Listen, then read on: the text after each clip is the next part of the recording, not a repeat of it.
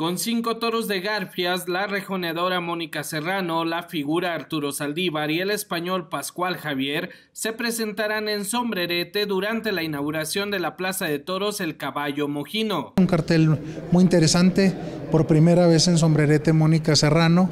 Arturo Saldívar, primera figura, y el español Pascual Javier, con seis finos toros, con cinco finos toros de don Pepe Garfias, una corrida que ha despertado mucho interés por la calidad de sus componentes y por el gran proyecto de levantar la afición en esa parte del estado de Zacatecas. Bueno, eh, creemos que eh, el gusto por el caballo, por la alta escuela en Zacatecas es muy alto y hoy por hoy eh, uno de las mejores exponentes, sino la mujer más importante es Mónica Serrano dentro de los rejoneadores mexicanos.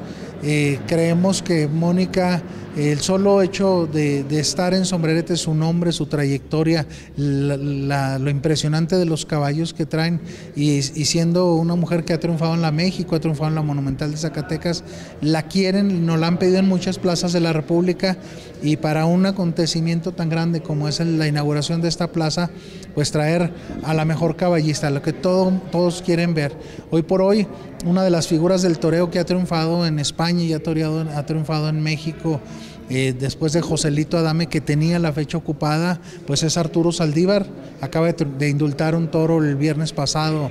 allá en, Moroleón, Guanajuato, y es un torero que está eh, toreando en todas las plazas, alterna México y España, es una figura del toreo, y para darle ese toque internacional, pues viene un, matador de toros español muy joven que ha triunfado también por estos rumbos, ha toreado mucho y, bueno, eh, va a ser una, una gran tarde. Con imágenes de Julio César Lara para B15 Noticias, Alfredo Jiménez.